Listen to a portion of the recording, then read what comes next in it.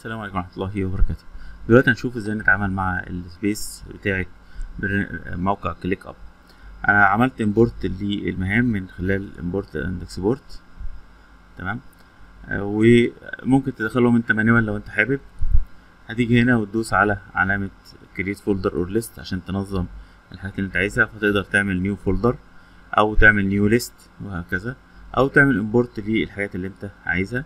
سواء من ترفعه كملف Excel أو آه، أسانا أو monday أو to do list أو Trello أو هكذا يعني.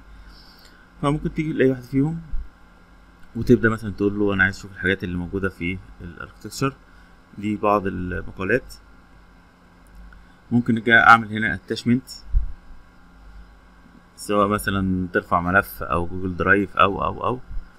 أهوت ده ملف HTML أنا حاطه. ممكن تعمل add وتعمل upload ل file أو تربطه ب Dropbox أو Google Drive أو حتى new documents وتقدر تعمل كل الحاجات دي download مرة واحدة. بالشكل دوت ممكن تخليها في المواضيع أو في مكان آخر.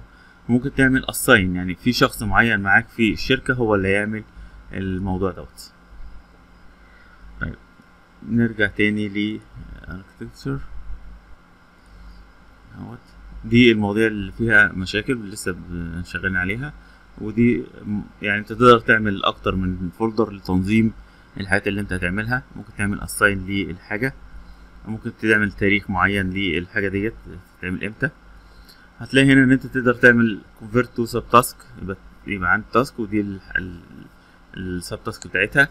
تقدر تضيفها list تقدر تعمل لها duplicate تعمل لها move تاخدها copy وتبعتها للناس أو تضيفها لل line up ممكن تعمل copy لل URL وتبدأ تشاركها مع الأصدقاء تقول له paste فيبدأ يديها لك بالشكل دوت.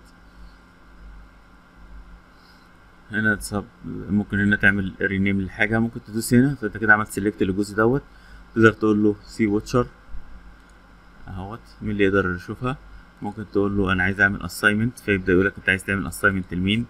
ممكن تعمل status هل هي تحطها closed ولا جاهز للنشر؟ خلينا مثلا نقول إن دي جاهز للنشر فيبدأ يعملها لي بالشكل دوت ولو أنت عندك من حاجة تقدر تنقلها من مكان لمكان بالشكل دوت. تقدر تعملها ك sub task تقدر تشوف عايز تحطها sub task لأن task موجودة عندك بالشكل دوت.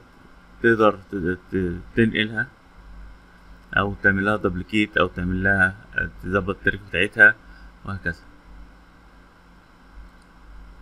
تبدأ تربطها بحاجة تانية ممكن تعمل لها delete فزي ما انت شايف انت بتقدر تتحكم بشكل قوي جدا بكل المهام اللي انت المفروض تعملها. ممكن يكون عندك أكتر من مشروع وكل مشروع تبدأ تشوف إيه التاسكات اللي انت عايز تخلصها أو إيه المواضيع اللي انت عايز تنجزها في ال- المشاريع دي.